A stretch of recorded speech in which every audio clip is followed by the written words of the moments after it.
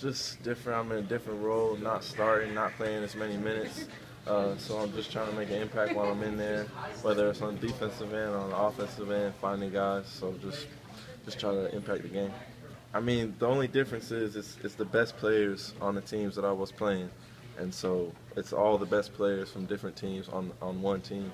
So the level of competition is, is higher, and uh, just makes everybody faster from uh, the one to the five on the court. It just everybody's faster and more athletic and bigger. Each team has their own style of play, but I don't think the style of play is what determines who wins or, loses. I think it's uh, which team can execute their style of play best uh, for uh, 40 minutes.